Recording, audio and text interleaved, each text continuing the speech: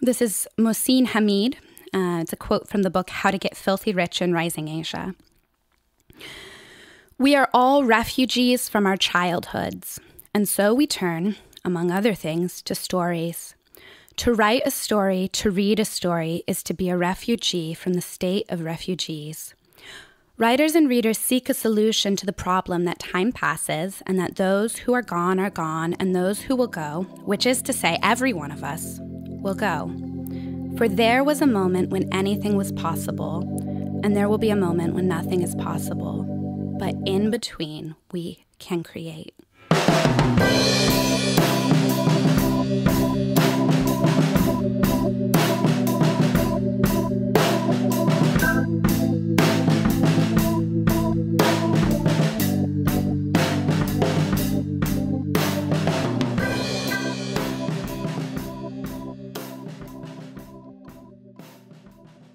Welcome. I'm here with Chuck Parson.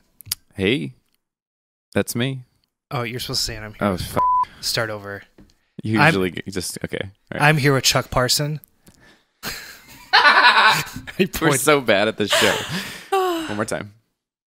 I'm here with Chuck Parson, Hey, I'm here with Brady Harden. and this Is is the a life after. Um, you know, there's some forces that are too strong to withhold. There's just some forces of nature that are so powerful that you cannot keep them back.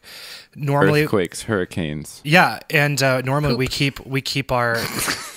this is what I'm talking about. We're, we usually keep our guest until the second segment, Yes. but we cannot withhold this anymore. No, Um, no. the- unleashed here in the studio with us is Renee. hey, Renee. Ay, yeah, y'all can't see this, but I'm doing some really cool pistol fingers. Yeah, Yeah. there's like guns shooting everywhere, guns slinging.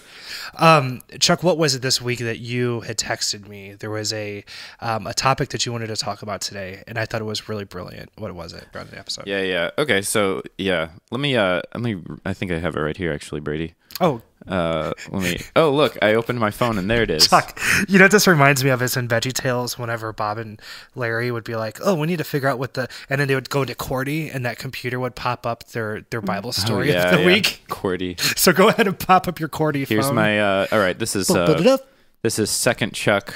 Uh, twenty nine seventeen. Oh God. Oh, like Chuck 2, Chuck Harder? Chuck 2, Too Fast, Too Precisely. Furious? This is second Chuck Too Fast, Too Furious. Um, I, s- I was texting my one of my, my best friend. He lives in, in Louisville. I said, uh, Hi Bennett. "Hi Bennett." He's listening out there. Oh, B-boy. Yeah, yeah. yeah. Hashtag Bennett reads my hashtags. Um, I keep thinking back to my young Christian leader self. I remember when some of my close friends started smoking weed. Ooh. And I felt such a strong gut response that I needed to do something about it, changing their minds or something.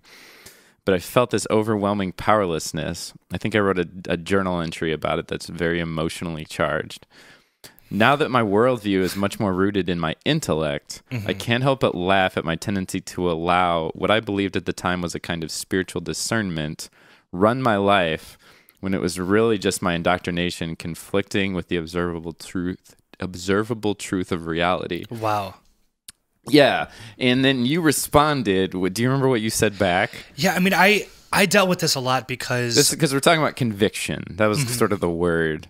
The key word there is conviction, right? and really what it is, I think, for a lot of us was just these black and white regulations that we had upon ourselves to fit inside of a community. Yes. So there was a time where I went to a R-rated movie with some of my friends. Yeah. And what I- movie was it? it was Grindhouse. It was the, the, the Robert Rodriguez Quentin Tarantino Yes, the double double feature, double feature. I don't even know how I ended up there in retrospect. which is su- such those are good great movies. are they though? They are. I Okay. was like, They are. meh. okay. No, they're. Hel- I But- mean, like for what they are, they they're so self aware. It's hilarious. But but the, but the point was is that I I went there and I watched it with a couple of my friends and I, actually I think two of them are listeners of the show.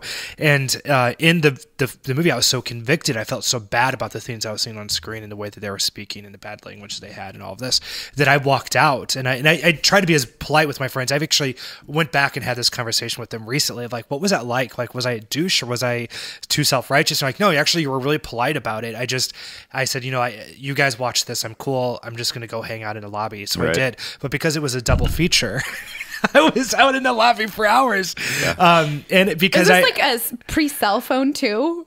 Where you're like, I- "What- I don't what do remember. do?" You were like, I probably- you were like using. like- It was probably during the time I had that Zach Morris like brick phone, like Uh-huh. five years after everybody else did, because that was a hand me down from my family.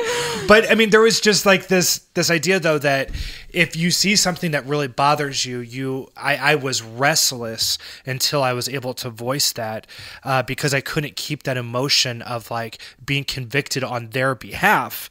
I couldn't keep that in until I said or did something bold that showed it. yeah. I think what a lot of it was is I Oh, needed wow. to prove I needed to prove what my stance was because that proving is what made me feel like I was being a spiritual person. Yeah, and, and you also are, are afraid of if you don't say something, then you're illicit or, or sorry, complicit.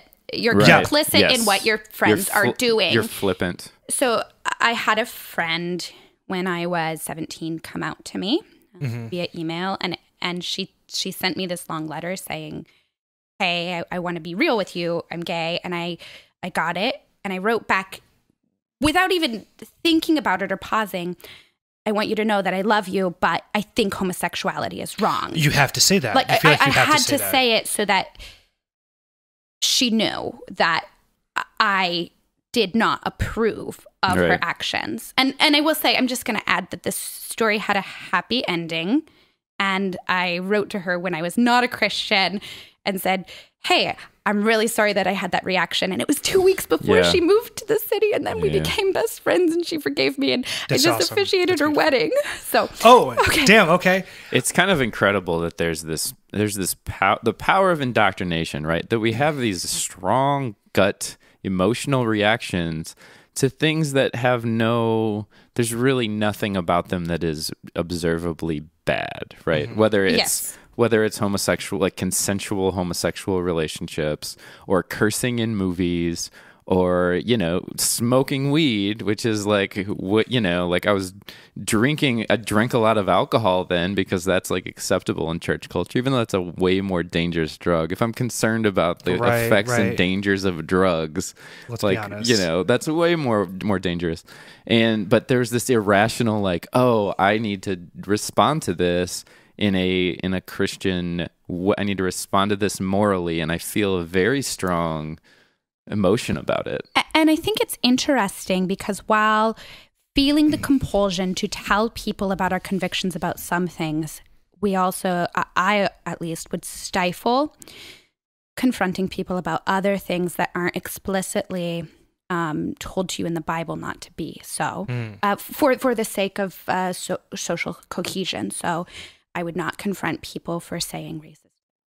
I would not confront people for saying sexist things because those are um, you're you're allowed to say them at least in my church culture. Wow, yeah, so yeah. so I would uh, stifle other things that I had convictions about. Yeah. I had the ability not to confront people all the time, but I would still with certain things say no you can't be that way. No you can't think that way. No you can't do that. Or i just or or even let them do it but uh, feel compelled to let everybody know that I thought it was morally wrong. And I think this is Yeah. something that really is perpetuated by people with black and white thinking. That, um, like, let's look at how ridiculous it gets at times when it comes to, and I hate using this example because it's so cliche and obnoxious, especially to me as a gay person. But when it comes to like the gay marriage thing of people not wanting to make cakes for people who are, so they're like, well, if I make this cake, then I'm saying that, yeah, everybody's Sorry. making this really disgusting face. Like, oh, it. he's so tired of hearing about this. But no, it, No, it's no, such we're a. not. We're tired of hearing But it's about so it. Tired of obnoxious. about the I mean, fact that it exists. I know that my marriage was consecrated in the presence of my cake. Right, So- but no, but it's this idea that if I make this cake, then I say that I'm okay with it. And if I'm saying I'm okay with it, totally. then I'm okay with gay sex. And if I'm okay with gay sex, then obviously God's going to charge their sodomy against me. You know that, like, Wow, yeah. that if I make this cake, then somehow I am whatever. And I, I think that it's so obnoxious to have this black and white thinking and it's so unhealthy. But um, I was living in the midst of that until I stepped away and realized, like, no, this is outrageous to really look at it this way. But the people who do black and white thinking um, are the first one to pick up arms when it comes to wanting to fight to death for their belief system. Uh-huh. They're, you know, and so, or, or I think the equivalent of Yeah, yeah. nowadays is they're the first ones to make such a loud, passionate thing. And usually the loudest, most bold one gets the endorphins running through our bodies of self-righteousness and like oh my god like i'm really making a stand and god's gonna be proud of me and because they're kind of like the leaders of that i think a lot of people follow underneath that um, and it becomes like the the thing that if you logical christians can come out and say no i'm cool with making a cake even if they're not confirming or not affirming of, of LGBT communities. Right. They can say, well, I'm cool with making a cake even though I don't agree with them.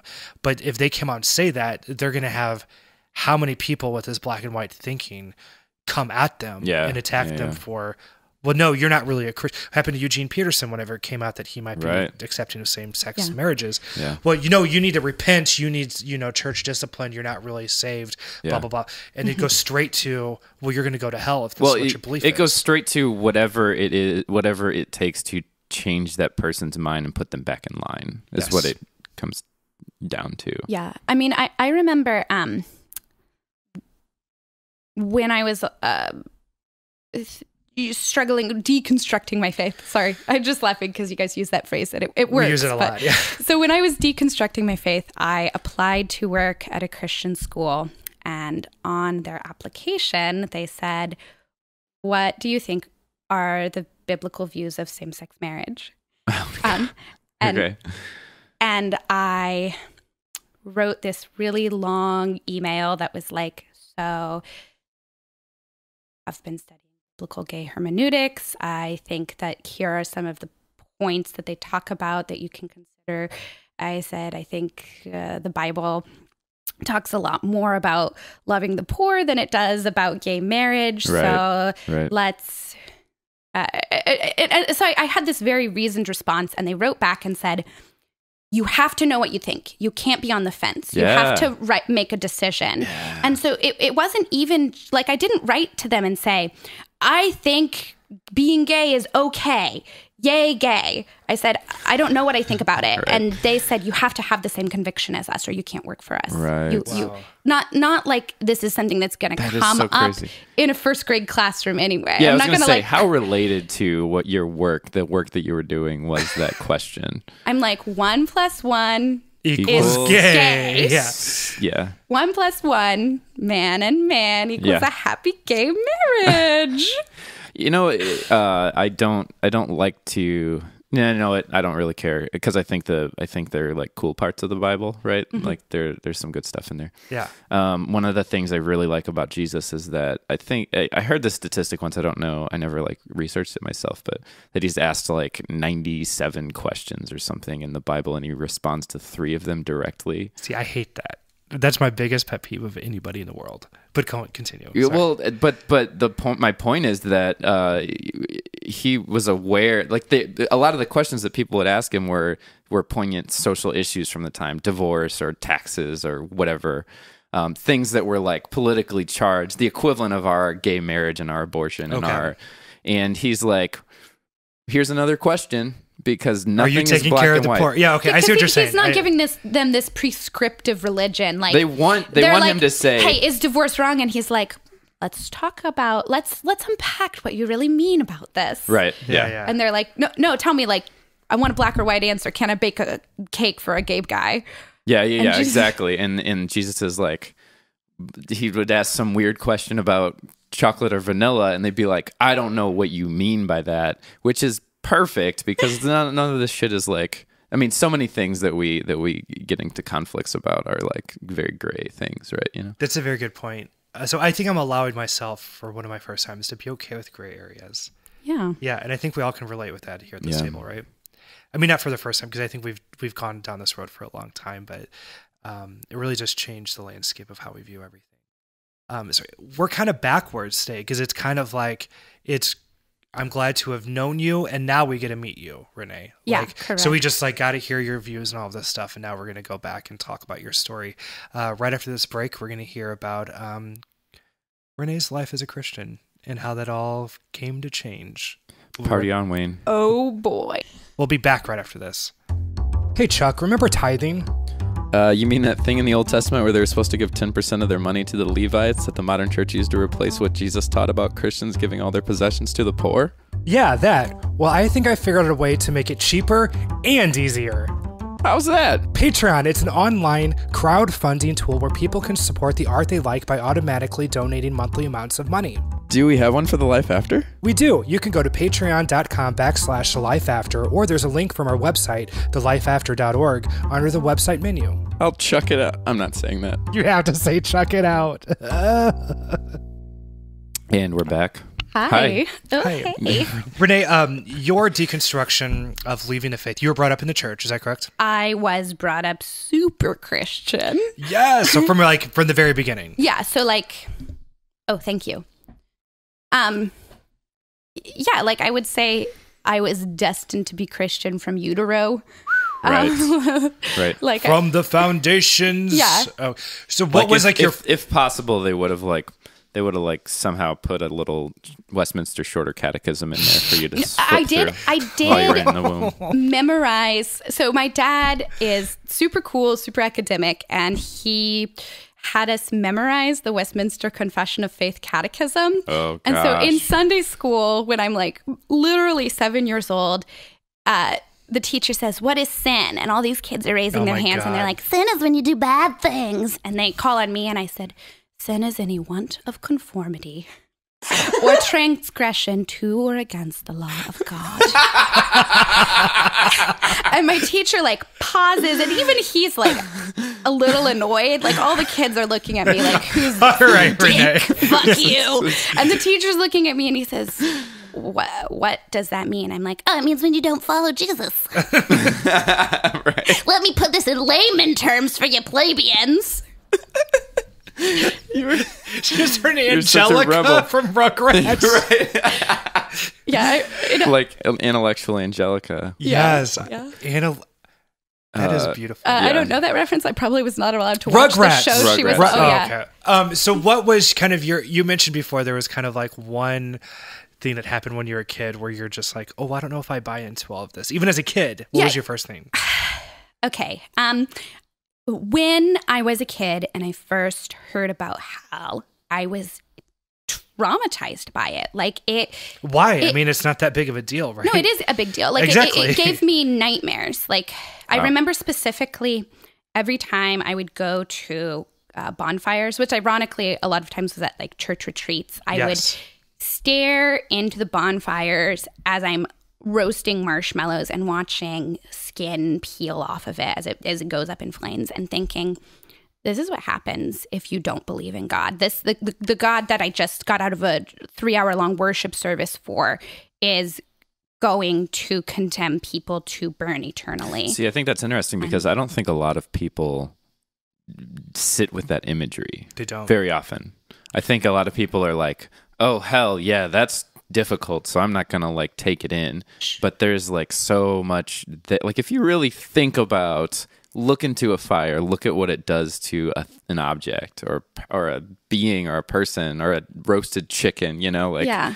it's uh, Yeah, yeah, it's like dark. you you, you look at a dark. roasted chicken and watch its its flesh turning into grease and Yeah. dripping down. Yeah, Yeah, I mean yeah. and then and and then you think about that for humans. And And how unethical is it for children to to tell kids if you don't have this same black and white thinking that we have, then this is going to be the consequences of your actions. Yeah, and I think maybe uh, some of this is compounded with the fact that I was an artistic kid. I was an imaginative kid. I was very in tune with emotions, and so images that maybe other other adults might brush off because they're indoctrinated to, or other kids like might not want to go to this unpleasant place.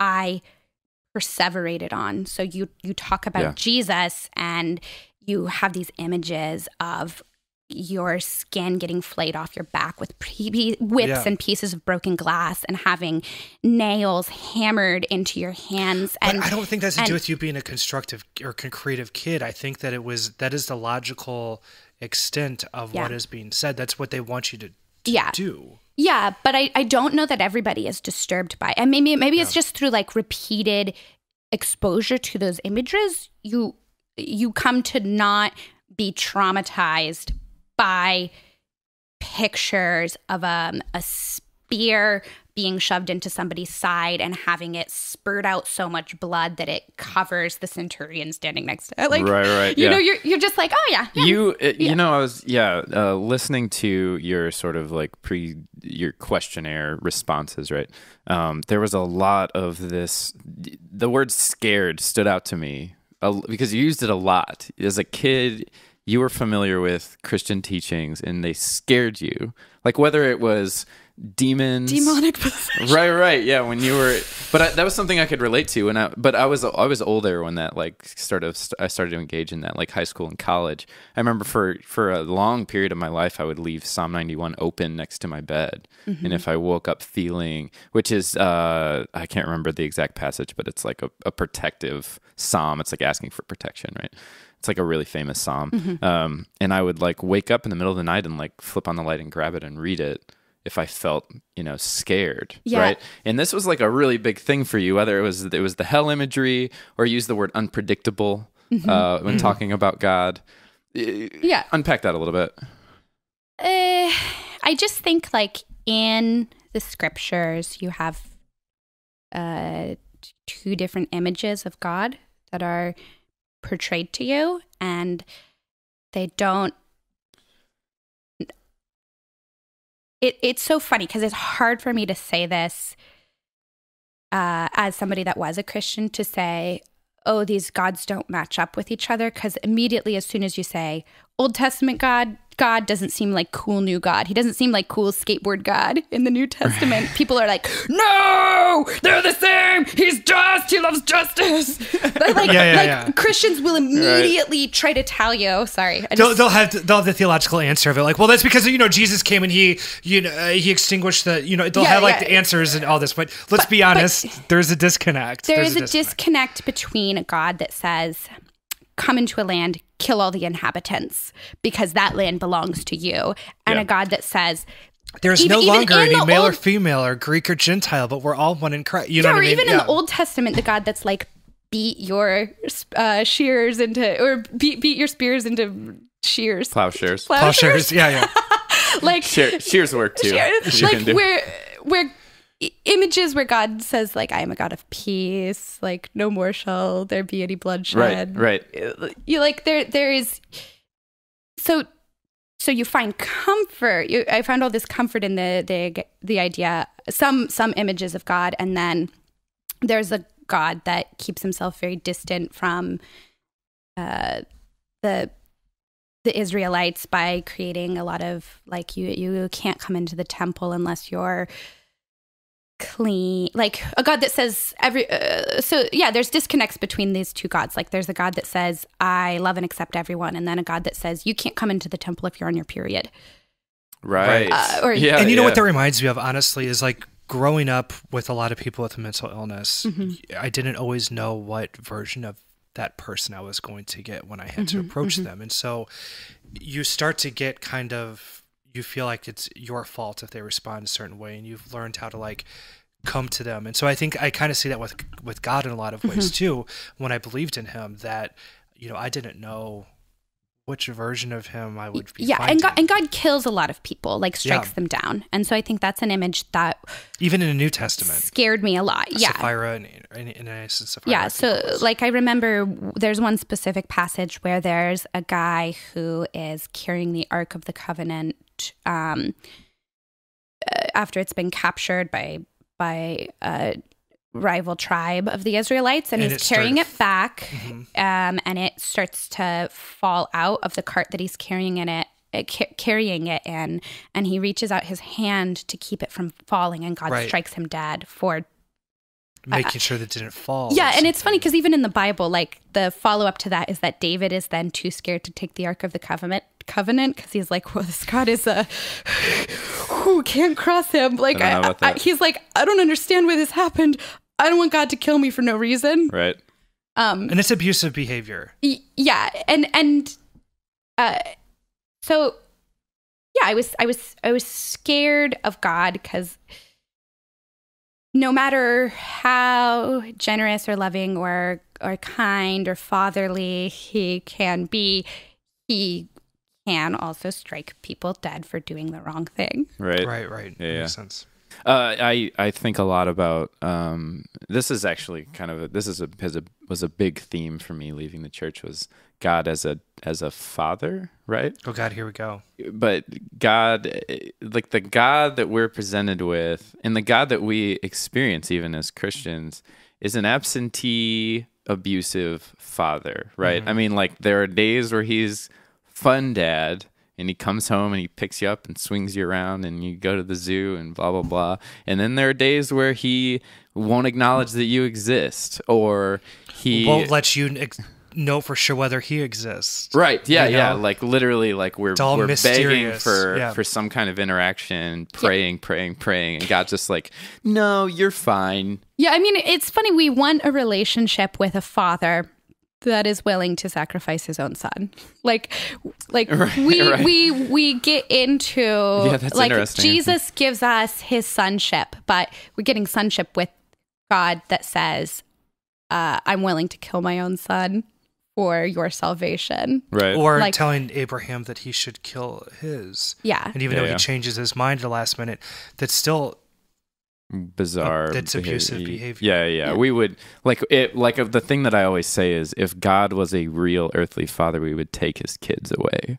Yeah. we, we would. We would literally would like society would say no you're not fit to be a father and they would take your take your kids away. And I know that a lot of people are going to hear this that are Christians and are going to say, "Well, but," and and I think it's just one of those situations where it's like, just please hear us out with an open mind. It's like these things don't add up. They don't add up. yeah, o- or even just saying like.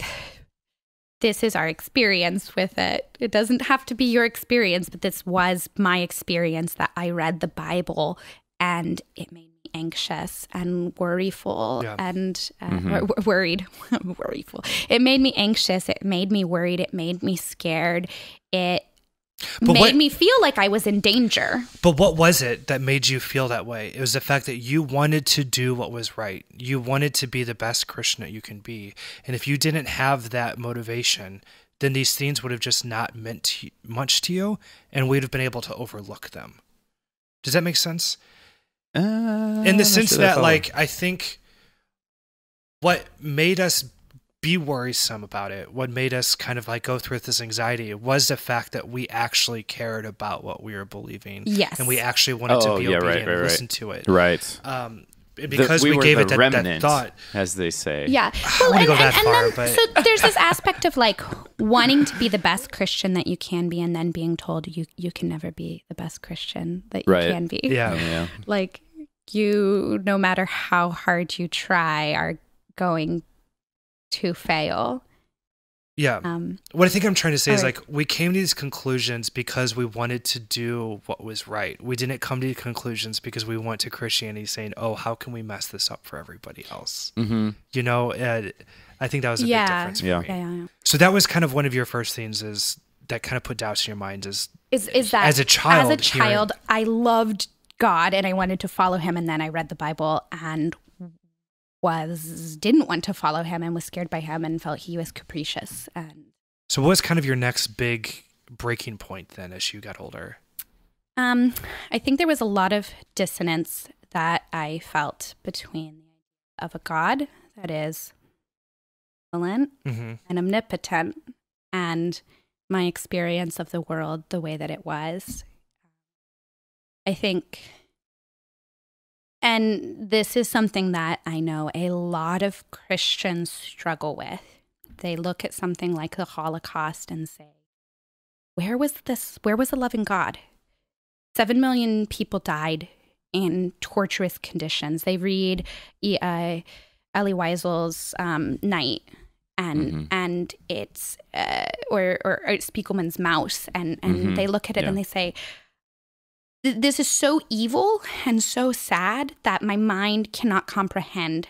how horrific it is like Mhm. like to protect myself i have to distance myself from what's happening because um like i cannot handle the weight of of um how horrific it is and yet i am still supposed to believe that god saw all of this and this was part of his plan and that he was loving and that he cared for the people that were tortured that had their children murdered in front of them that were Yeah. raped that were put into gas chambers. And and and I just that was a continual struggle that I just never could wow. understand like justify this God is loving and good and yet all this bad stuff happens. And um yeah and I think a, any Christian rhetoric against that was not um satisfied oh two things. One is that all of those fears were exacerbated by the church constantly telling me that God is a God that loves and intervenes. Right. So this woman in my church saying the spirit leads her to do everything. She lost her keys. She prayed God would help her find her keys, and the spirit of the Lord led her to her keys. And I'm like, why would God do that? Why would God show you where your keys are and let kids be murdered in the Yeah. Holocaust? Yeah, yeah. Um, On one hand, God is so good yeah, or, or that He helped you find your keys. Yes, or, or even for more serious things like God healed this person that was sick. Right, God right. Uh, protected me in an accident, and Yeah.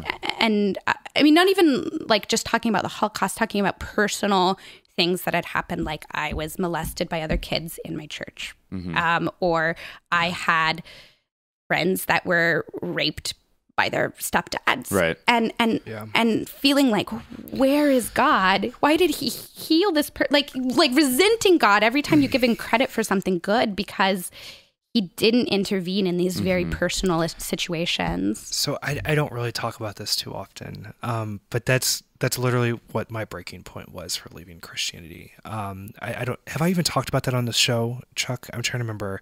I tried to keep it quiet of why what my last thing was. I think what I talk about was that the church excommunicated me, and I got time to stop and think about my doubts and to really reflect on those. But my main one was this: is if God is at all places at all time, if He's able to create the world in six days, got the power of creating an entire universe just by the the voice of His mouth. Um, and and yet he is at all places all times see these horrible things happening to innocent children and he sits by and, and, and passively allows it to happen. If i was in a situation where i was passively watching anybody get hurt murdered molested raped whatever um, and i just sat there and allowed it Yeah. um, i would be a horrible horrible person Well, you would be an assailant in a crime. and I'd be but i'm Literally. An accomplice. An accomplice. An but I I'm meant. Yeah, limited. yeah. I'm limited only to the power that I have as as Brady Harden, as as a man who's sitting right here. I don't have the power of the universe, and I'm not at all places, all times. Right. Um, and yeah, we we they're gonna have the answers of like, well, you know, God allows bad things to happen, or He's gonna have free will, or if you made it too obvious that He was real, then you know people would convert to Him, and they wouldn't actually mean it. It wouldn't be as meaningful to God, you know, because they're not really having to choose. You know what I mean? Like it's all these different things. yes, But like. another big thing. I'm, I didn't But the mean fact, to cut you off. But the fact that all those rules matter to him more than what should Right. be, Yeah. that says something about that I could not get over him personally with my faith. Yeah, and the other the other rhetoric that I hear a lot is just to to silence that doubt. It's you can't know the purposes of God. I mean, this is what happens in Job. Like the entire book of Job is Job being like, "This is not fair, God, that this happened to me." And then the conclusion, the epic conclusion is, "You're mortal. You can't know what my plans are." God is And- literally sarcastic in that book. Yeah, and- Where were you at the foundations of the earth? yeah, yeah. yeah. And and it's so unsatisfying to say I have this real struggle and to be told Yes. by the people and and it's an emotional struggle. It's deeply emotional and to be told well there's no answer for that. And, Right. and and I think that answer also sort of shames you for asking the question because they're like, Wow, Who, "Are you trying to be God?" I think you're right. Yeah. I think you're very right. Um, the and I don't think that like people with those sort of cookie cutter answers. It's not like have you ever met somebody that uh, was molested repeatedly as a child? Like, have you ever met somebody? Are they are they fine? Like, are they okay? You know what I mean? Like, yes, they are, but they've overcome like you know extreme difficulties to even survive into adulthood right, Right. and they still confront have nightmares they confront this regularly and they have to live with this for the rest of their life and then you have like people with relatively comfortable stories with some struggles because everybody has them but they're saying like well suffering is just x y and z and it's part of god's plan a and lack it's of like empathy and you have no idea what Right. some people have No been clue. through right um, we are going to take a quick break Okay, cool. um, I need a break. need to decompress. when we get up back, when we get back, we're gonna uh, we're gonna recompress Renee. Do you have a story you want to tell us? Or a question you want answered. Do you need advice on how to handle family members who are upset at you because you're wrestling with your beliefs or leaving your religion? Have you experienced some weird religious shit that you need to tell people that might actually get it? Then contact us. Go to thelifeafter.org, all one word, and click the contact us page. Or Facebook us at facebook.com backslash the life after org. Or email us at info at thelifeafter.org. We would love to Hear hear, from. Let's do it together. Okay. One, two, three. We'd, love to hear from you. Or when you email us, send us a voice recording. We really like that too. Welcome back to Life After. This is Brady. Um, with each one of our guests, we like to give them little questionnaires, and they send us back the answers to these questionnaires, sometimes with voice recordings. Today, Renee, I took a walk with your voice recordings, um, which is really bizarre. Oh, by my the way. voice was in your head. It's really bizarre. Did it give you flashbacks to Christianity? that makes sense in just one It moment. mostly just gives me flashbacks to Drew Barrymore films. I know. Yeah, who do people say you look like or sounds like? People say I sound like Drew Barrymore. I had one friend tell me that when I talked, they like to close their eyes and imagine whatever I was saying was Drew Barrymore talking to them. Oh, wow. See, I get I get Gaby Hoffmann. You sound like Gaby Hoffmann to me, Okay. and I love her. So it's worth. Do you want me to say like I guess we can um in a different segment like look up something Drew Barrymore or Gaby Hoffmann would say and I can say that say that. Yes. uh, Stay tuned say for segment the fans. three? Yeah. Like Yeah, we're gonna do it. Moving we're gonna on. do it. uh, but while I was listening to your recordings, there's one thing specifically that I listened to that uh, resonated so much with my own thinking and how I used to be as a Christian, and that was um, you feel now that you are free to have your own thoughts and to be alone in your thoughts for probably the first time in your life. Yeah. How does that feel? it feels relieving. Describe that to us. Like, what is the And- process there? What was that like? So there's um some different things going on there. One, I think you're taught as a Christian that God can read your thoughts. And so Mm. you constantly, no matter what you're thinking, if it's good, bad, neither, mundane, if it's like, oh, it's time for me to get groceries, th- there was a part of me in the back of thinking it's time to get groceries that thinks God just heard me say it's time to get groceries. If, if I thought something bad, I would feel ashamed that uh, somebody was watching me say this. If I'm working through emotions, I, I, I am aware that somebody else is uh, watching me uh, have these emotions. Um, if I feel, if I think something, I, I think I would try sometimes when I thought bad thoughts to immediately think something good to compensate for the fact that I had said something. It's like um, a like if you accidentally ki- cuss in front of a kid, you're like shit, and then you're like oh shoot shoot shoot shucks. Like that's what I did with God. Like Yeah, because but- but because your- I have to compensate for having the wrong thought. Yeah. Yeah. Um, And it, it's not even like somebody's aware of your thoughts. It's like they're intimately aware of your being as much as you are. Right. Yes, and it's somebody that it's invasive. yes, it's invasive, and it's also somebody that is judging your thoughts. Right. So your thoughts are constantly being Right. judged. it's Um, like when you're at work and you're being micromanaged by a boss. Mm-hmm. You know, your performance is going to go down because you're constantly on edge and it's like feeling like every single thing that you do or say is going to be scrutinized or judged.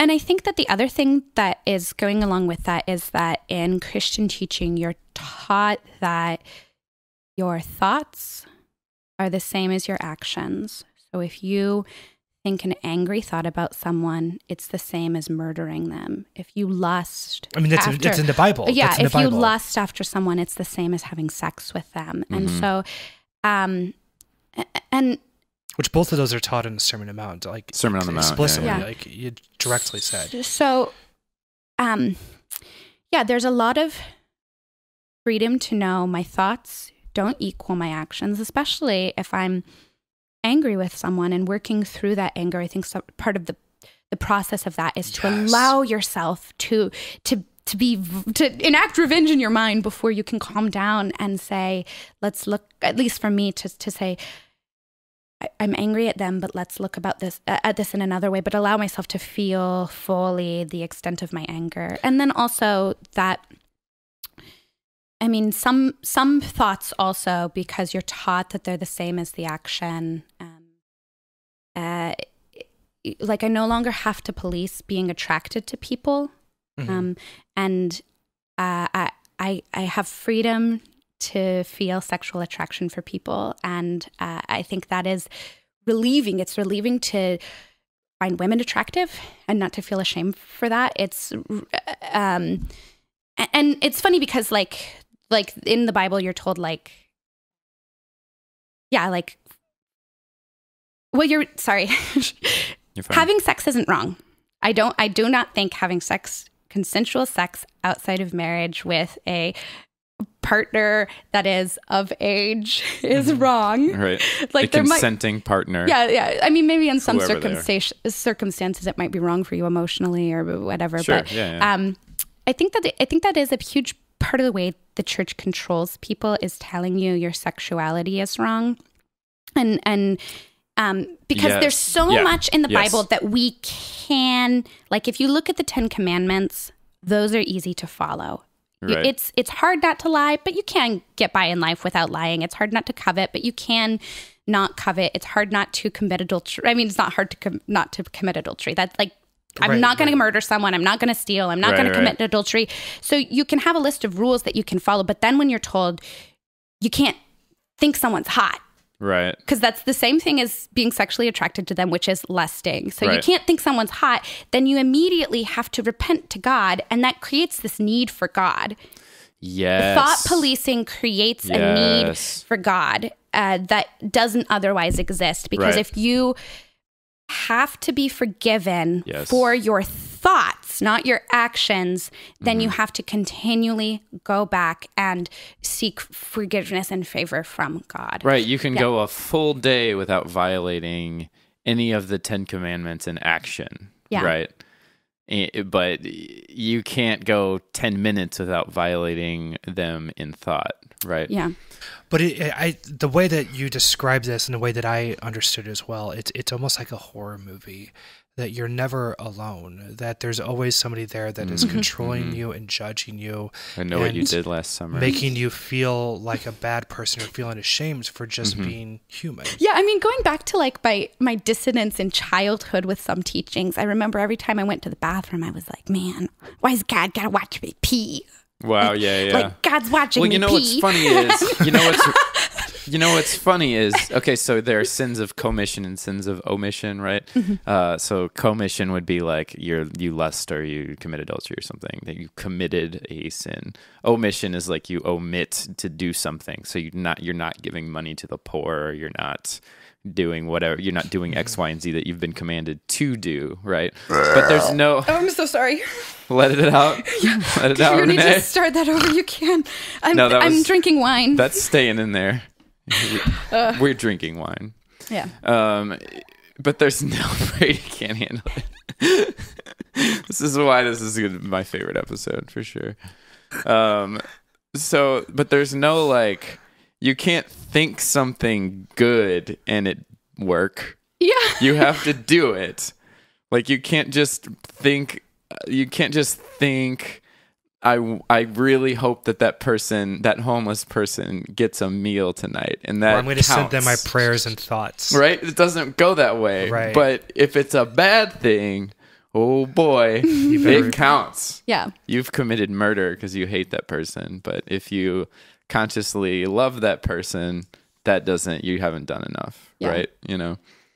Yeah, those those teachings are so extreme, and I think that because we're taught them when we were younger, they just seem to oh these are normal. Right. But really, when you when you get older and you stop and think about the fact that none of your thoughts are your own, or that you are constantly being patrolled by Big Brother, um, it can really mess you up mentally and mess you up emotionally and psychologically.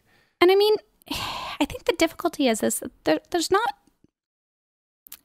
It- It's not entirely untrue that your thoughts have an effect on your actions. Right. like that it is true that um you know if, if I, I constantly dwell on how angry i am at somebody that i might act out in ang- anger. But I think that it, it just like as a non Christian, I have a more sophisticated view of that. I understand that It's nuanced. yeah, that there's nuance that one, my thoughts might affect my actions, but they are not conflated with my they are not the same things as my actions. Right. And I think especially with attraction, because there's some tons of people that I can feel attracted for, like um and not not bang. Right, right, right. Right. right, right. yeah, I mean, I think I think like in a relationship, I'm in a committed monogamous relationship, and I am attracted to other people, and I have that as a passing thought, and Yeah. I'm like, yeah, but I'm happy in this partnership. I'm not going to pursue Well, that. But yeah, And, and yeah. also like there's you know there are two people involved in a sexual encounter, Yeah. not just you, Yeah. right? Like so there's there's this assumption that it's almost it's probably a little bit patriarchal, if not very patriarchal. This assumption that if you Wait. listen, no, no, no, I'm not saying that the Bible's patriarchal. Don't no. No, I'm kidding. But Not at all. But there's this like, oh, if you lust after a woman, it's like you're having sex with her because she would definitely not say no. You know, like But no, I think also it, it it creates so much more unnecessary problems within marriages where, you know, if you find out that the man looked at pornography or the man like wandered his eyes at another woman or whatever, then there's this feeling of like, well, no, you committed adultery in the heart, you know, all this different stuff, and so it gets blown out of proportion. So my my experience with that is a little bit different is I completely agree with what you say, but one of the big things that stood out to me is the fact that I, I can allow myself to be angry and hate people. Um, and my hate looks different. It's not like I'm constantly dwelling on it, but I allow myself to just not like certain people and be okay with that if their actions deserve that. I judge people on their actions and the words that they say. If they do something that I find um, immoral or wrong, um, I'm not going to continually throw myself at their mercy and say, you know, hey, please come back in my life. Let's work this out. No, I'm, I'm allowed to just be like, nope. no, like No, sorry. you've had enough chances. yeah. What you, what you do is deserving and I, my I'm hatred. not, in fact, doing this out of love. I just think you're a shitty person. I just think you're a bad person. Yeah. And Yeah. and for me to say that I hate them doesn't mean that I'm dwelling on it and it's burning or I've got bitterness But inside it, of me. it's like having the freedom to say what they did to me was wrong, and I'm going to acknowledge that. Yes, Right. I'm Yeah. not just going to forgive it and and throw myself to where I can be hurt by them again. I happen to have a poem I know just you right she- pulled up. listener. She got really excited when I started talking about yeah, hatred. yeah. I had this she, huge smile because I was. Uh, I'm yeah, this, reading. should, this one episode should be a video podcast. I'm reading Sherman Alexie's uh, memoir. You don't have to say you love me if you don't know Sherman Alexie. What's wrong with you? Go out and read The Lone Ranger and Tonto Fistfight in Heaven. um, um, but so I'm reading his. Okay, go ahead. So What- I'm, I'm reading this memoir and he has a poem, and it was so resonant with me that I took a photograph of it and and look at it. Um, Let's hear it. uh, so it's called The No. okay. So like we must. O. Yes, The Okay. No. All right. Uh, this is by Sherman Alexie, noted author and poet. So we must forgive all those who trespassed against us. Fuck that shit. I'm not some charitable trust. There are people I will hate even after I'm ashes and dust. wow. Dang. And and so like we have this Those idea like that hatred hatred means that we want them dead because that's what the Bible says. We want to murder them. We want to do all this. But really, I think that sometimes we're just allowed to be angry and know, hey, somebody's character is not up to par to what we feel it should be. So we are going to choose not to be around that person and be okay with not. Yeah. In one way, do I love them? Yes, I love them in one way as a human loves anybody. Amen. But also, I hate them in a way that one human can hate another person Right. they can change in the future. I'm not closing that door. Yeah. Yeah. But listen to me, I'm like backtracking everything also I'm say- saying you because can, no, it's you like can say they can change in the tr- future. I'm not closing that door, but maybe the wrong that has been done against me is so egregious that I have to protect myself from the hurt of that, And it no is- matter what. listeners, it is okay to do that. Protect yourself. Right. It's okay. You have permission. And I'm hearing you also say that you gave your per- we talk about this all the time. Like if we had to rename this podcast, it could be called giving yourself permission. Yeah, yeah. Because you have to be able to give yourself permission to question these things, to uh Yeah. to evict God from your mind and be okay with not having his mind's patrolling everything you say and do. Yeah. What is your freedom like now um, that you have gotten away from that? Like, how has your thought process changed, do you think? Mm, I kind of feel like she already answered that. Did she? Um, let me ask a different question then. But do you? Yeah, I mean, I just Oh. thi- I think that it's just I feel relieved. I feel a re- relieved to have the privacy of my thoughts. Oh, I I, feel- love that phrase, privacy of your thoughts. Yes. Yeah, I feel relieved to to be alone with my thoughts, to parse through them, to have them to myself, to not feel the invasion of somebody else coming Yes. in and listening to them and judging them. Right. So I've always had bullies in my life, like people that if I dress a certain way, I, I filter it through. Well, how is this person going to think? Brady, me? I'm sorry that I make fun of the way you dress sometimes. Not you. No, I love the way you dress. But no, no matter what, I've always had those like those loud bullies in my life, and they get in my mind, mm-hmm. and so then I still filter my my thoughts and my actions through that.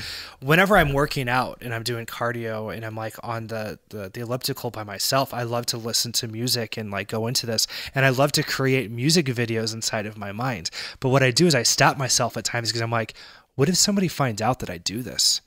It could be really weird if somebody walked in right now and saw mm-hmm. what I'm thinking Oh, of yeah. like what I'm creating in my mind. And, and it comes back to this idea that we still filter our thoughts to like these bullies in our lives. And I think for a lot of us, God was this bully.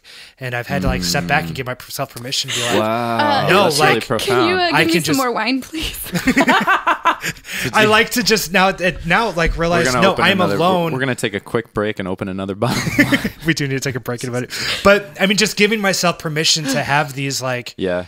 these thoughts, these very in depth things that beforehand I think I would be embarrassed by. Yeah. If somebody found out. Mm-hmm, mm-hmm, mm-hmm, mm-hmm, With that we said, actually are gonna take a quick break to go get some more wine. yeah. And when we get back, we will have wine. And to doo doo.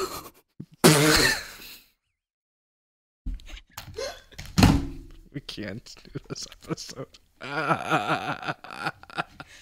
What is that? I'm calling it a grrr. It's a new letter I've been working on. You're right, Chuck.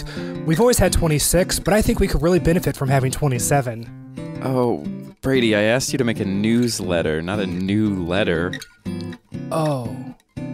Like we could put a link on our website and have listeners sign up to receive an email newsletter whenever we have updates. Exactly like that. Yeah, okay, I, I could get that ready by the time we release this. Sounds great. Sign up for the newsletter at thelifeafter.org. But I slur the word cognizant. Yeah, cog- yeah. Welcome back to the life after. Welcome back. um, Renee, I want to hear how your decision making now as a adult who's gotten away from Christianity, how has that changed? Yeah. Um, sorry, I just, this is another aspect of leaving Christianity that has been really uh, relieving for me. Mm-hmm. When I was a Christian, um, I struggled with depression a lot, and I still struggle a lot with depression, anxiety. And I think there was a lot of struggle in Christianity that I would pray for God to change me. I would have these things that I struggled with over and over again and, and asked, God, change this, God, change this, God, change this. And it never changed. Yeah. And so I felt, one, like God was testing me or ignoring me or being cruel to me. And then two, like I'm still dealing with these things that never change. And um when I was still a Christian, I had I lived in South Korea for a while and I moved back from South Korea. Oh, I forgot about that. Yeah, and and so I moved back from Seoul, and it was one of the lowest points in my life. I went from having a job teaching English in a school and having a lot of mobility because Seoul has wonderful socialist public transportation, and um, uh, and I have it feeling like I had a sense of purpose for my life and living on my own to living with my parents having no driver's license and like being claustrophobic and stuck in my house and not having a job because it was 2010 and the recession had hit. And so just just feeling trapped in every way. And somewhere in the middle of that depression i w- was like that you know i'm sad and there's ways that i can manage this. So let's look at the list of the reasons that i'm sad and see if there are some things I can change. I I am sedentary, so I started running, um, uh, and then I uh, needed an outlet to talk about my sadness, so I started a blog, and Mhm. I looked for a job and found a job and I moved out of my parents' house and and all of those things were and and I realized while I was doing Wow. that like I didn't want to give God credit for it because these were all decisions that I had made on my own, that I had analyzed my life and said, what can I do to change this? I feel so trapped. I'm so sad. What can I change in my circumstances? And I mm-hmm. changed it. And it felt frustrating for me as someone who had kept praying for God to make me happy and never being happy to have to give him credit for it. Yes. And, and I know that some people say things like God helps those who help themselves, but that is not a Bible verse. Right. And in my denomination, and- they were like, no, that's Renee, not true. How do you know that God wasn't using your thought process to help you? I mean, I guess I don't, I, I couldn't prove that God wasn't using my pro- thought process to help me, but, um, but I couldn't prove that, I couldn't prove that he was or wasn't using that. Right. And I was the one that was doing all the legwork. Or yeah, yeah. So like, So why? like so, God didn't like I- the- manipulate my legs into Right. arduously running every morning. Right. But that's like a that's like a common counter argument, right? The- the- the anytime that you, counter-argument is anytime that that, you- you, are like, I did something, Christians are like, well, but God did didn't it. God if you te- get into God super give you, didn't, technicalities, didn't God put you? You prayed for 17 years for your depression to to heal, Yeah. and then God finally, in his in his He time, created- He gave you. But it's like, no, you made a cognitive decision on your own to move. He right? created the ingredients of the power bar that you're eating to be able to go run. Right. You know. right. Yeah. But it's funny because we actually had to talk about that on when I was picking you up. Mm-hmm. Um, was I mean I don't want to brag, but you said you know I'm looking pretty swole nowadays. Whatever. Um, Thank so this is a radio show. So Yeah. you cannot see how see, um, sexy Brady looks. Why don't He's you flex- describe it for a minute, Renee? But no, there is. Uh, but for me, my story was that you know, at the beginning of this year, I had a situation where I stood up to my family, and I've always come from a family that seems to be victims of their circumstances. And after I stood up to them, I realized, oh, like I can actually do something about uh, dealing with the, being overweight for my depression, and actually go to the gym and do these different things. So I've been able to take that back into my own power and uh, kind of been a captain of my own ship in that way. And that was something I was never really comfortable with doing before I left the faith. yeah. Yeah. Yeah. That's it's uh, it's empowering. It is empowering. It's I mean in a way that it's hard to describe to people that are in the faith. But I mean, Yeah. as Christians, we never thought that, oh, you just pray and you don't do anything about it. But there was still this reliance and this um, like victimization that we would Yeah. have by our circumstances because Yeah. we saw them as, well, this is God's will for me to be in this really difficult situation. So it's harder to really look at it from the same gumption of getting out whenever you realize, whenever you believe that God is the one who put you in there. Yeah, and, and and then you also like it is hard to not have your prayers answered. So yes. N- now I don't feel like maybe I try to change my circumstances and I still have an underlying sadness and I can examine that sadness and feel it and look at it and and not say well why why is God making me feel like why why doesn't he care You're right. like like well, I, it really I, I don't, it contributes I don't have to your this- depression. It does contribute to your It- I mean tremendously. Yeah. Yeah, I've I've been in the most depressed I've ever been was was the was the after effects of this in this period of my life where I very intensely believed that I was that God was giving me direction and I was following it, Mm-hmm. followed by a long period of time where I felt like God was not giving me anything at all.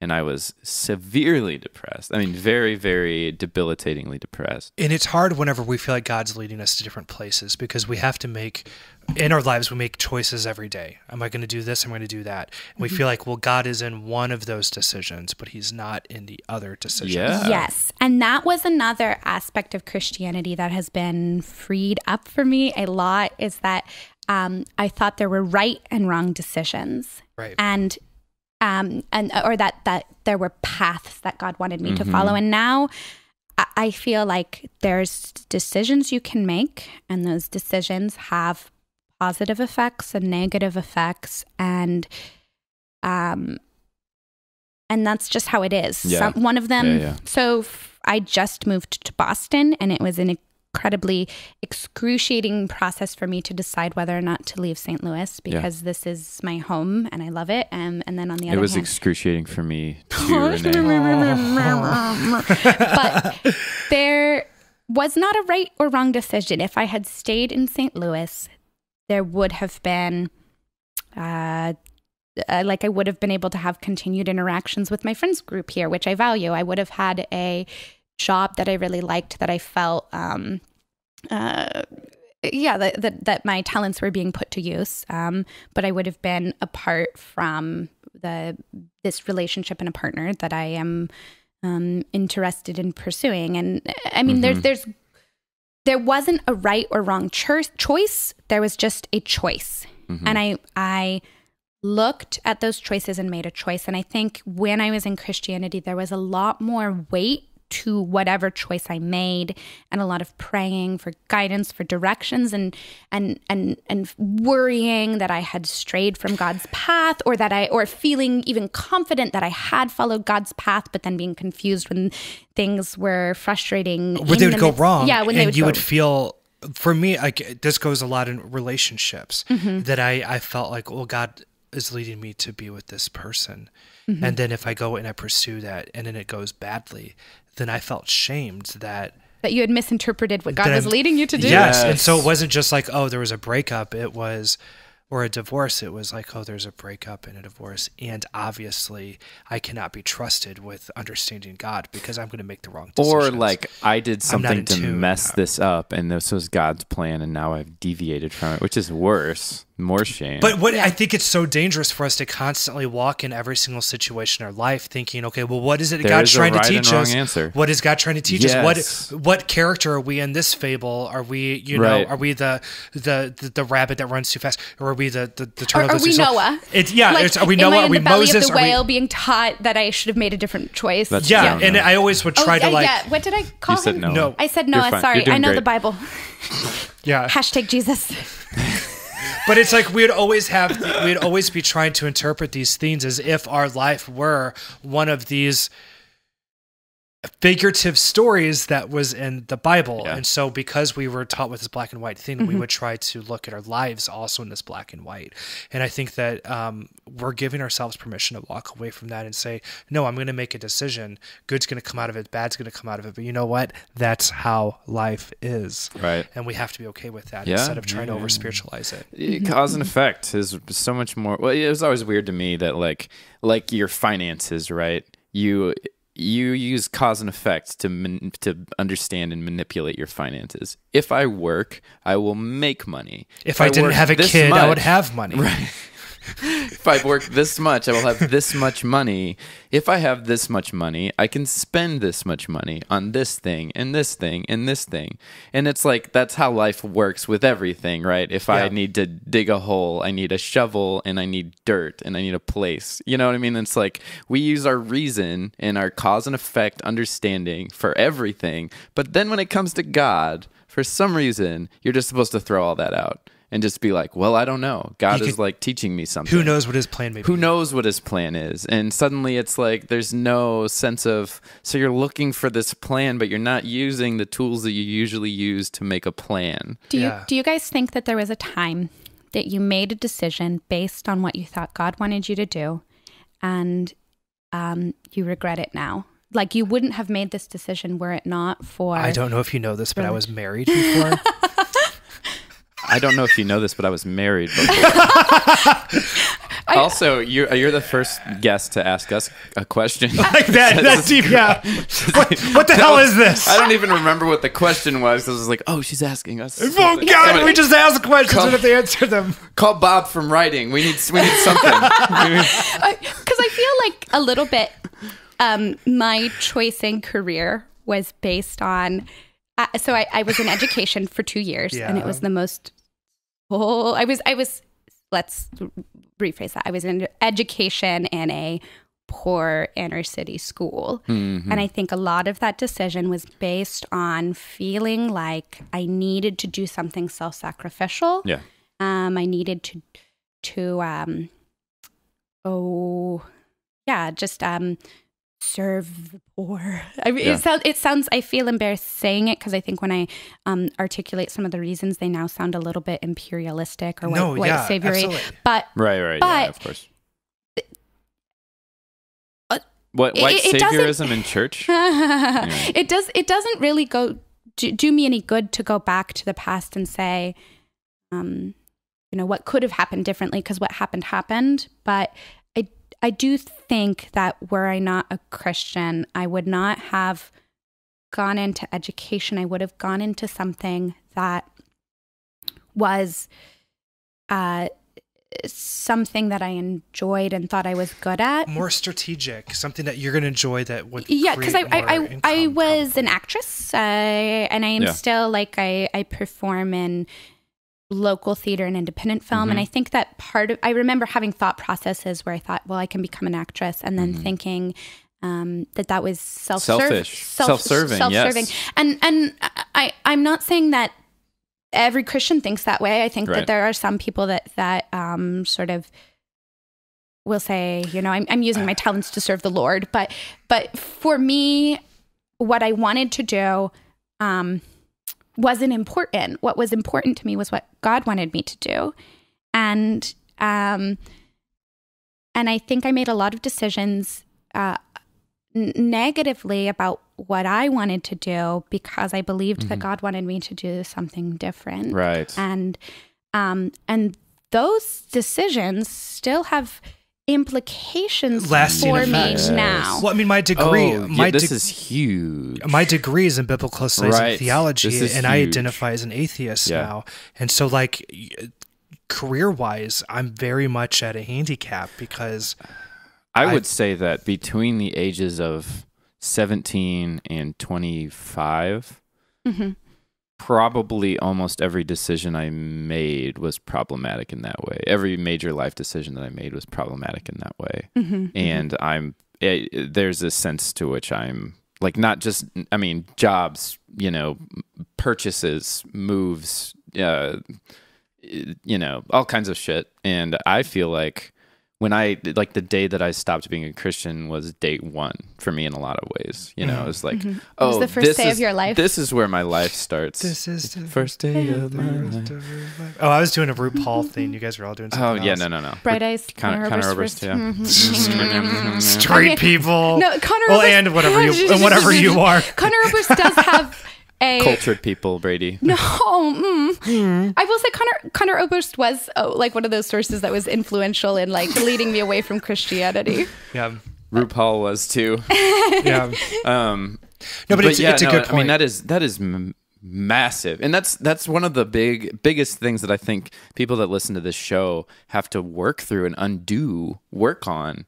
Is like a useless degree, or the decision not to go to college because you wanted to pursue a ministry. Mm-hmm. Well, the way or that we the always- decision to stay in a city because of this church that you were part of that was doing a thing Mm-hmm, that you know, and it's like never asking the question, "What do I want? What am I good at? What are my talents? What brings me fulfillment?" Yeah, and that And doesn't just- necessarily mean being selfish. Like like I talked No. about moving to. Boston, and a consideration in that was As a matter, you know, what will this do for my partner if Yeah. we're apart? Like, how will my decisions affect? Like, it's not just about me, but I'm not bringing in a God that cannot actually reveal to me right what He yes wants. yes because we're, we were legitimately making all these decisions for a god who found it more important to not show himself to us or prove his existence but to keep this other thing going of like where we had to question whether or not he was real Right. so that whenever we did choose him it would feel it would be better for him so it's like yes it's Right. insane that we made these decisions on that On a hypoth- it's like a gamble. I would But even like- argue that, like, as far as like whether or not it's selfish, I think that doing what you love gives you the capacity to give to other people, to Yes. give things to other people, because Absolutely. you feel fulfilled, you feel full of life, and you have something to give Absolutely. instead of being exhausted and having nothing and just trying to squeeze out you know, Well, when I was trying to brand like this podcast and everything, for the longest time, I would say, you know, this is a podcast about starting over after leaving religious trauma or, or toxic religious environments. Yeah. I think I've kind of changed it now to this is about the life after doing that, um, because I, I don't want it to seem that we are completely changing over. In a lot of ways, we are because our com- our complete mindsets and everything have changed. Yeah. But now it's like I just want to focus on that that life and that there are some things that we are able to pick up and keep on going with um, that we're able to transfer so it's not completely starting over but let's be honest it it really is so much like we completely started over like you said it, Oh, yeah. that day was like day one it is. It was day one. I mean, I still think of you. it that way. It was day one. renee let me ask you this though what do you know now as renee 2017 um, that you would go back and tell yourself when you were in this in these times where you're making decisions for the God that you were following instead of for yourself, what would you tell yourself? Um, I I think being who I am now, um, I versus who I was, I I would go back and tell myself, don't be waiting for someone else to change you. Look at your life and examine it and see what you can change and change as much as you can. And you are the one that's going to do that. You are capable of doing it. Um, I would tell myself, I think a lot of the, shame that I had internalized, I would tell myself, you are not an innately bad person. You are kind, you are loving, Mm. you are compassionate, you have the capacity to do good.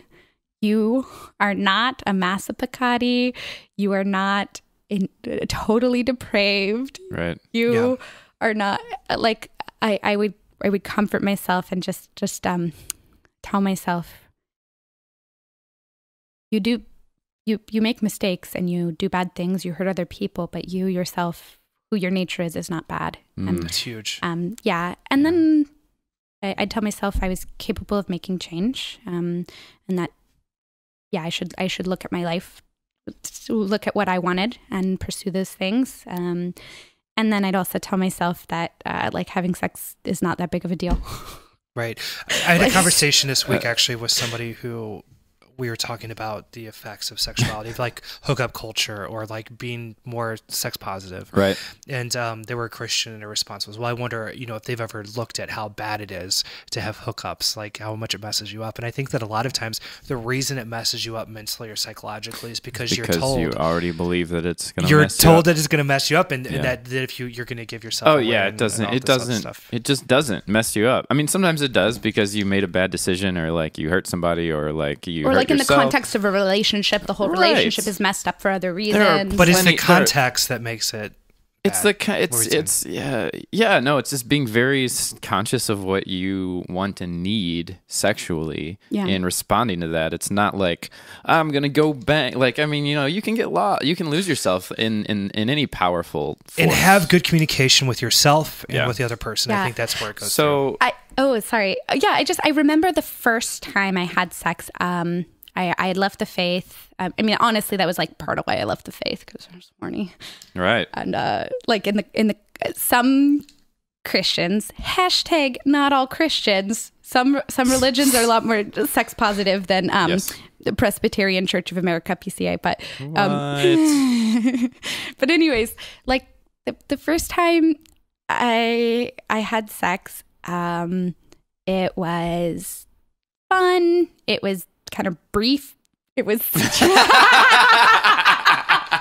it was like brief. Uh, it was and what it, was like, his name? No, I'm not. No, no, no, no, no, no, no. It was. It was. It was. Um, like it.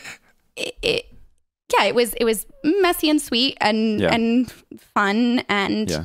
and I got done. And I think even as a non-Christian, I was like thinking that I would feel changed, and nothing was different. I was just like, oh, I've like okay, Right. cool. I, I Yeah, had yeah. an experience. It, it like like virginity is the only thing that we define. Like it's the only thing that we define as like. There's no other words that we have to describe something you haven't done. Like Yeah. if you've never Oh, been yeah. to a Yeah, yeah. a amusement park. We don't have a, a word for like That's why we always say like, "Oh, we're breaking your amusement park virginity." yeah, because Yeah. there's not you're not defined by what you haven't done. You're Yes, defined by it's what a you really do. bizarre Remind me idea. never to go to Six Flags with you. That was that was uncomfortable. that was so uncomfortable. yeah. But like like the first time you go to Six Flags, you're not like, wow, I'm changed as a person. You're like, I had a experience that was fun. Maybe it was bad. Maybe you got sunburned, Overpriced. overpriced. You were in line Yeah. for too long. But you're not like Too many people in uh, costumes. you have just had an experience yeah, and and and are- and then you're the same person but with a different experience. Yes. Um Let me ask you this then. Um, so we talked about the the messages that you would like to have changed from this side to your previous life. But what messages, what things are you happy carry o- carried over from your previous life to this one? yeah, that's a that's actually a good question. I think um Thank you. I existed in a uh, the church that I went to existed sort of in a, a weird microcosm, and in terms of uh, like in broader evangelical Christianity, this church sort of stood apart in that they were very socially just. They they cared a lot about um, racial equality and al- alleviating some of the uh, the the burdens that uh, poor people have and yeah like they they they had a ton of ministries to refugees and immigrants and um kids that were in the public schools and and uh, homeless. And um part of the reason that I stayed in Christianity so long was that I believed that the work that my church was doing was good, and I, and I s- I still believe that. And um, my parents are also people that uh, sort of gave up their life for ministry and gave up their life to um, to to make the world a more just place. They are mm-hmm. like merciful and compassionate, and I, I kept thinking like maybe there's something wrong with me because I, I do want the world to be just and merciful and peaceful mm-hmm. and and maybe I can stay in Christianity because I think these values are good without having any of the accoutrements and the bad stuff in it but Right. eventually Right. like I just said you know what I cannot be in this religion anymore but I can try to take these good things that were instilled in me in terms of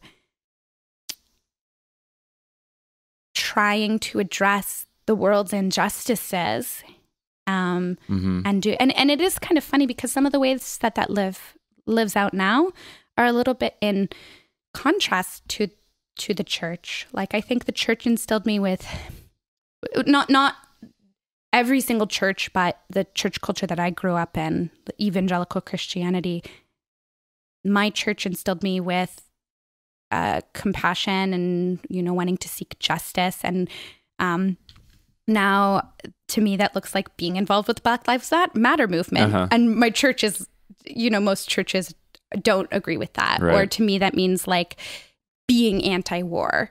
Right. and and that's because of of teachings that I got from Christianity, but the church is not necessarily at the at the same place. I don't know. It's confusing. It's kind of like there those interests overlapped and those passions overlapped between church people and people who are not in church that are just socially minded. But because of the way we were brought up, it was almost as if we felt that that overlap only existed on one side. That it only existed on the side of people who were Christians. And so we felt like we Oh, couldn't really right. do that outside of Christianity. But I think what a lot of us are discovering is um, even more of a freedom and even more of a effectability or an effectiveness Yeah. um, to do care about these other issues even more effectively now than we did whenever we felt like we had to add in the third Right. character It's of, sort well, of how like does this what, go back to God? It's sort of like on the Caleb episode where he was like, yes. and here's the sandwich, and here's a little Jesus, you know, and it's like, Or you can just give him a sandwich. just give him a sandwich. yeah. Renee, I want to thank you so much for coming Oh um, shucks, all the way from Boston. Boston. Boston. Sorry, Get in my, the car, Mickey. my accents are so bad. You know what? I mean, that's the only thing I can can say. tell all of your friends about this podcast because you know what I'm really intrigued by as somebody who's not experienced it. I'm really intrigued by um, people who came from the same background I did, but in a big city. Because my stuff is like I think can only exist a lot of times in very small communities. Mm-hmm, but I'm more interested like but we loved like Tim Keller, who was like a big writer and everything, who was a pastor of a Yeah. big church in the city. I'm interested in knowing what like Yeah. how urban life is. Yeah, or people stuff. that left Christianity who were always in churches that were more liberal. Yes. Like I was in a Yeah. church that was LGBT friendly. I was in a church that had women in leadership. I was in a church that um Well, yeah, you had didn't. Did- progressive- did no, you- like like this is a hypothetical Okay, okay. cool, cool person. I was like, that wait a second. no no no this was not me. So this is a hypothetical person that is like grown up Yeah, in a progressive Oh, church yeah. who's still like. But, But- I fundamentally think the teachings of the Bible are wrong, so that's why I left. I'm I'm Yeah. curious from hearing that perspective. Right, like right, right. yeah, like or I- people that came from a small town like I did and went to a bigger city and realized, oh, I can be a lot more liberal. And you know, and I find that sort of Christianity more malleable and more um, respectable, Mhm. in my opinion, in my viewpoints now. But thank you so much. yeah, you're welcome. coming. Thank y'all. Thank you all very much for listening. Um, we are going to end this episode with two stories that are a little bit more R rated. If you have R kids for in the Renee. car, you might want to hit pause for Renee. now. R for Renee. R for Renee. Hey, have you ever seen a Marvel film? And if you're not an idiot, you waited until after the end of the credits to see the teaser for the next Marvel film. Here's one eyed Nick Fury with a story about masturbation.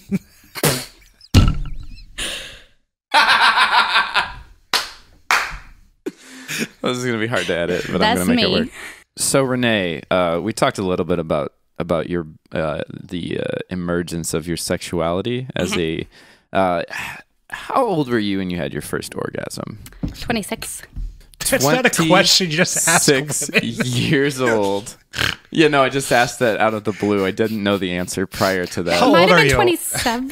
How old Okay. are you? How much do you weigh? When did you have your first orgasm? What's your social security This number? is standard questionnaire stuff. Uh, Renee, I'm. Uh, you Okay. you shared the story of that with us over the break. Do you are you okay with sharing that with our audience? oh yeah. Oh right. Okay, so I mean, also like, am I okay? Or I think the answer would be I am ridiculously proud of this story. so True. This, you should see your face. I was in the midst of uh, deconstructing my sexual, my, my my Christianity and my sexuality, and um, like at this point, I was like, yeah, you know, I'm not sure that the Bible actually says that you should be in committed committed monogamous relationships for your whole life, and this is partly like based on the fact that like all the patriarchs of the Bible have concubines and multiple wives. And I'm like, does this egalitarian God really say it's okay for men to bang whoever they want and not let women get on on the action? Like, that doesn't seem fair. So I, it- there's like a lot of thoughts going through my head. And I'm, I'm finally like, you know what? I've never masturbated. I, Renee, am making the formal decision to masturbate. And then because I'm, I'm a very academic person, I say, I'm going to research how to masturbate. And so I do what any academically minded person does who wants to get a crowdsourced overview of uh, sort of the what masturbation is. I go to wikipedia.com. The mm-hmm. s- the haven of all intellectuals. Yeah, you know, I actually like you know when Wikipedia does their annual like Fundraiser, fundraiser, yeah. I'm like I, I owe it to them. So Hey. I, I go to wikipedia.com and I, I search masturbation and then I read their article on masturbation, Soaking up every detail. soaking up every detail, like taking notes, being like, "Ah, okay, I I Because understand for some this reason you were an old lady when yeah, you were and, 27. and you know, like a great way to use Wikipedia is to read it and then go down to the bottom where they cite their sources Right. and link to the academic sources. Yes. So Yes. I like read the Wikipedia page and I, I link to the academic sources that they have based their article on masturbation on. And I'm like, I, I understand now.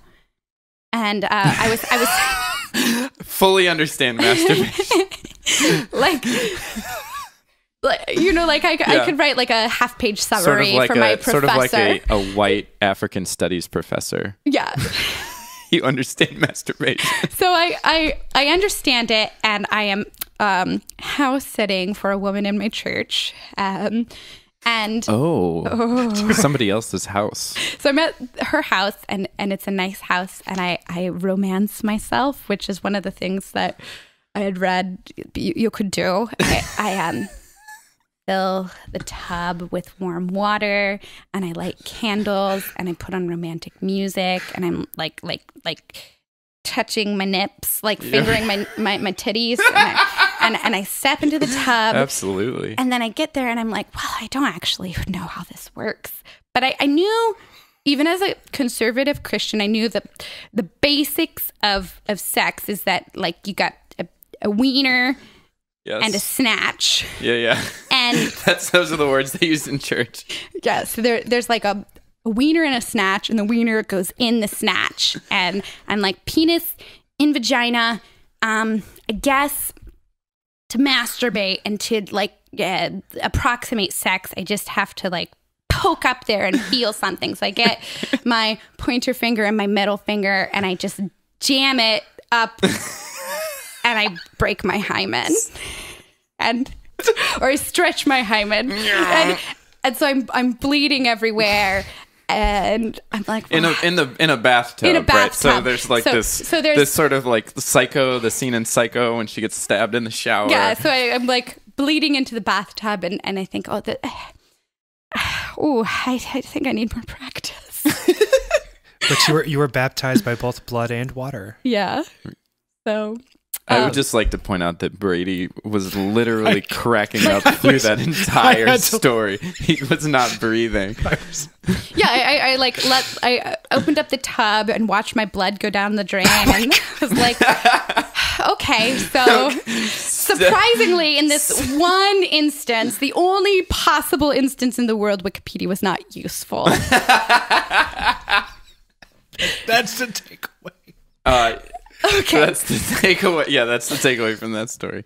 Uh, you have a you have one more story Um, Yeah, to I share have- with I have us another- about about your your theology this your has gotta be theology of sexuality. Yeah, this is if you will. This isn't. It's not This actually my theology Presbyterian of sexuality. This is not my theology of sexuality, but it's like this sexual encounter that helped lead me away from Christianity. So, I am uh, in the midst of questioning a lot of things about my faith, and I was uh, volunteering with an institution um, that offers services to refugees, and I was volunteering in a citizenship literacy class, and uh, which where we we helped refugees uh, pass the citizenship test, and um, and I'm reading Richard Dawkins' The God Delusion, and this guy in my class looks at me and he says, "Oh."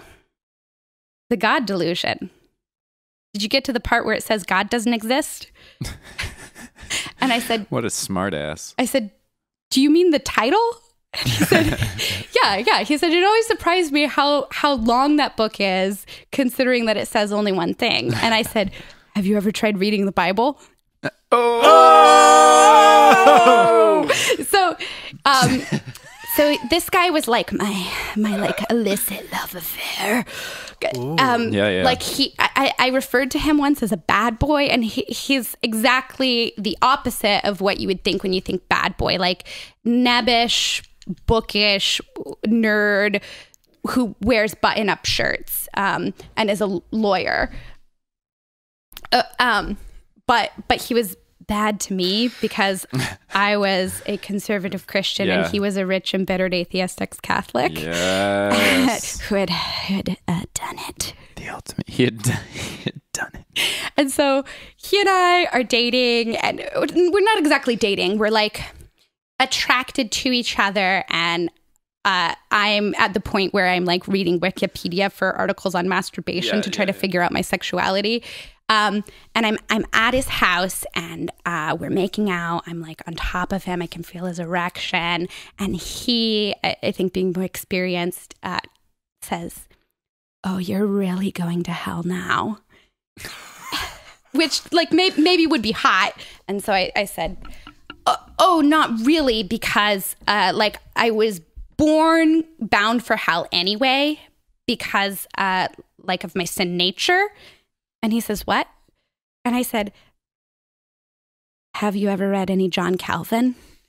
You know, and I can feel like This- like it's been like really hot, like we're like a little bit unbuttoned, and and and like I said, I could feel his erection, and suddenly it's like recoiling into his body, like like like making a getaway, like fleeing, and and he says. No, I have not read any John Calvin. And I said, Well, so John Calvin talks about this idea of total depravity. There's a useful acronym in the five points of Calvinism TULIP. T is for total depravity, U is for unlimited. and, and, and, and, and I said, So so basically, like, I can't get any worse. Like, I'm not going to add a bad thing. Like, I'm already, I am already totally depraved. And he says, Do you really believe that? Do you really believe that everyone is bad? And I said, I don't know. Mm. And he said, What do you mean you don't know?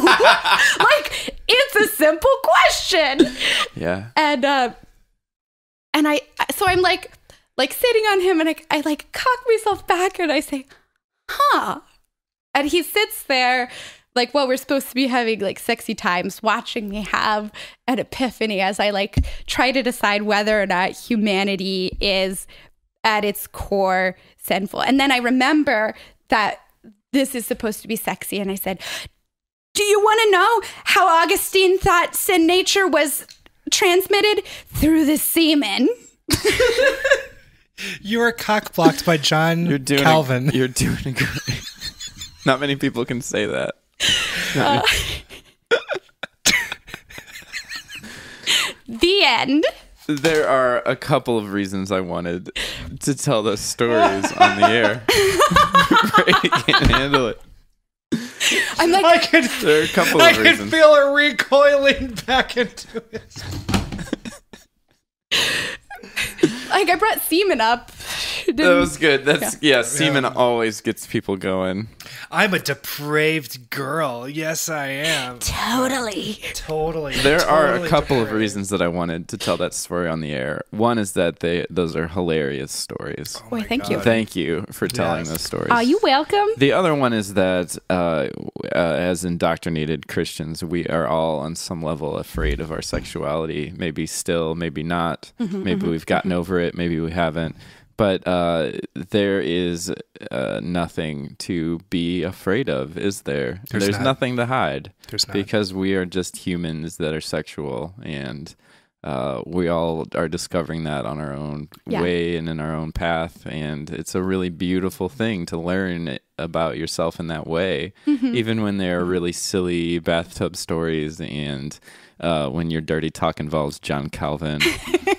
And also, like, And at all of any that is point, okay. You can question your basic precepts. Like, at any point, you can say, Do I really believe that all of humanity is innately bad and born bad and incapable of doing good? yes, even when you're on top of a boy. Yeah. Chuck, I think you're the only person who could have gotten a Danny Tanner moment out of those stories. I'll put in some guitar music Thank when you. I edit. Um, thank you, Renée, for sharing you so that. much. Thank you for being on the show. Uh, do not be afraid of your sexuality. Do not be afraid of hell. Love yourself.